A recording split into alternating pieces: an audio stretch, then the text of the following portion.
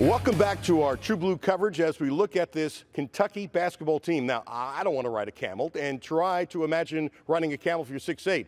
Dorian once rode a camel in Egypt, so she tells me. Keith once rode a camel, but it was here in Kentucky. I ain't never riding a camel. That's bad grammar, and I don't care. Think about P.J. Washington. He rode a camel, and he's like this tall. That's part of the story as to what happened in Egypt. The other part is, if mom wants to play horse, she still thinks she's a better shooter. PJ says, uh-uh, I'm going to beat mom. Riding a camel, it really wasn't that hard, honestly.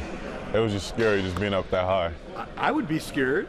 I mean, probably once you got settled and you were moving, you're okay. But until then, were you going like, what did I get myself into? I mean, when the camo first got up, it's scary because I mean, you feel like you're about to fall, but you just got to hold on tight and just, just, just basically just ride the camel. I mean, it was, it was, it was crazy. Did you enjoy it?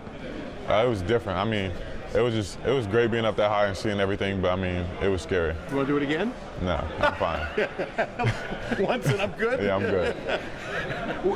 when you tell friends about it, do they think you're nuts, or they don't believe you that you actually no, on just, a camel?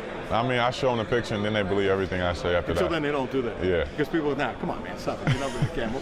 When did you know you were good at this little thing called basketball? Um, honestly, about in like fifth grade. That early? Uh huh. Why?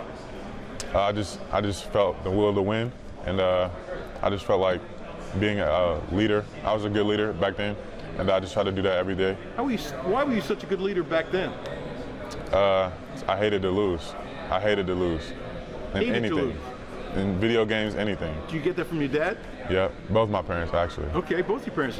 Now I read somewhere, tell me it's right or wrong. You have a fear, and tell me if I'm wrong. You have a fear of not accomplishing your goals, and I have found through the years when somebody has a fear of something and you're talented, that usually pushes you harder to get what you want. Mm-hmm. Am I on the right page? Yes, sir. Tell me about it. I hate, I mean, I'm, I set a lot of goals when I was younger. I wrote out a piece of paper and I stapled it to my wall.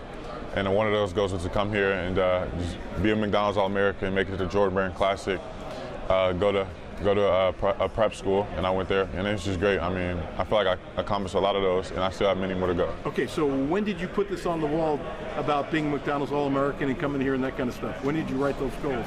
Uh, sixth grade.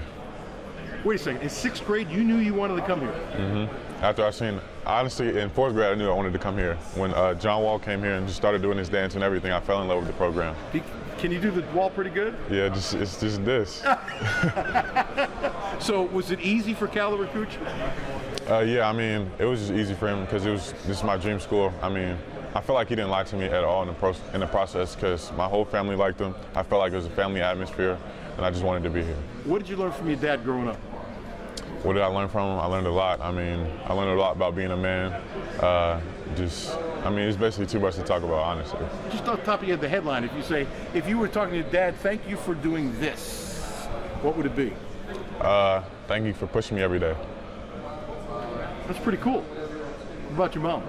Same thing. Thank you for pushing me every day. I mean, they, my dad wanted me to go to Findlay Prep at age of 15, in my sophomore year, and I went out there. I went out to Las Vegas by myself, and uh, I never forget. I mean, that was the it was the best thing for me, and I'm glad I did it.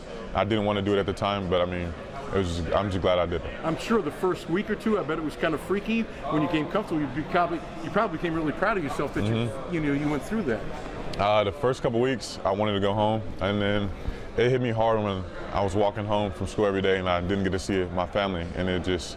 I mean, it just hurt me and it made me grow up as a man, and uh, I'm just glad my dad put me through that. I bet it was tough on your mom and dad too, but they didn't want to tell you. Yeah, my uh, my mom didn't even come on a trip, and uh, she uh, she couldn't take it. But I went out there with my dad, and uh, I feel like as soon as he left, he started crying a little bit. But after that, I was good. Okay. I mean, there's nothing wrong with crying. You cried, or your dad cried, or both of you cried? Uh, I, used to, I used to cry a lot. I mean, the first two weeks, a lot. But after that, I just manned up, and I was good ever since. Okay, once you got past that, you had to feel a tremendous sense of pride and accomplishment because you're 15 years old. See, people sometimes forget because you're tall, you're mature. Well, you're a kid like anybody else. Mm-hmm. I don't mean the word kid in the wrong way. You see where I'm coming from? Yeah. It had to make you feel good what you accomplished. It had to me. I mean, I started washing my clothes by myself, uh, washing dishes, uh, just taking out the trash, just doing everything by myself, and uh, it was just it was just different. I mean, because when you're at home, your mom does all that, but it's just great uh, just being out by yourself. Who's a better shooter, you or your mom? My mom's gonna say her, but I'm definitely the better shooter. Come on now, if your mom is standing here and you say you're a better shooter, is she going to say, uh-uh? She's gonna want to play horse, and then I'm gonna have to beat her in front of all y'all. Really? Yeah. You would beat your mom with the TV cameras around here? In horse, yes. And enjoy every second, too. Yeah. Why does your mom think she's a better shooter? I don't know. She just, I mean, she's competitive. I love that about her. I mean, she's always been competitive like that. And uh, in college, she used to, I mean, she averaged like 20 and 10 her senior year. So.